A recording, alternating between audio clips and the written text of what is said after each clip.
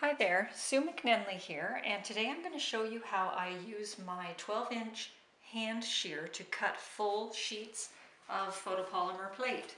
Now the reason that I do this is because I go through probably a thousand plates, uh, not full sheets, but I do a lot of work with them and I don't want to buy them pre-cut because I also cut a lot of little weird sizes just to suit my needs.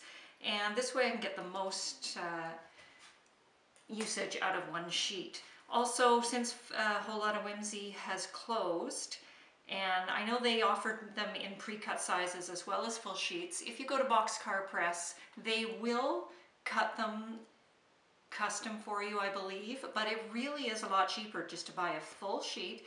This shear, which is about, you can get it anywhere from 100 to $150, it will save you money in the end, considering how much cheaper it is to buy a full sheet. So I'm going to show you this shear first. This thing means absolutely nothing to me. It might help some other uh, some other things, but it's I don't use it at all, so let's just forget about it. My shear is bolted down. I used to have it unbolted just because I couldn't be bothered to bolt it down, and um, then I just decided one day to do it. It really does make it a lot sturdier. It's a really heavy piece. So the great thing is I've got it on an IKEA kitchen island. These things cost about 50 bucks. They are awesome for the studio. They're sturdy, you can beat them up. I've got other things clamped to them. So it really is great. If I ever get a rolling mill, I'll most likely buy another one and just mount it to that rather than buy one of those special things for them. What I do to come up with a level cutting surface is I pile up magazines and books just to get right up to the surface so that when I put my plate down I'll have a sturdy place to hold it. You can just build one yourself, a little platform, but this works just as well. So what I'm going to do with my plate, I've got a full sheet here. There are some tips, like yes, I can just go and cut it, but you'll get curled edges, etc., etc. So I'm going to show you ways that I do things. I do not wait for dark to do it. Even though light will, will start exposing photopolymer, it's not that dire that you have to, that the moment it comes out, oh my goodness, you're going to have to race, race, race. I'm just a fairly quick person though anyway, so you might want to practice a bit.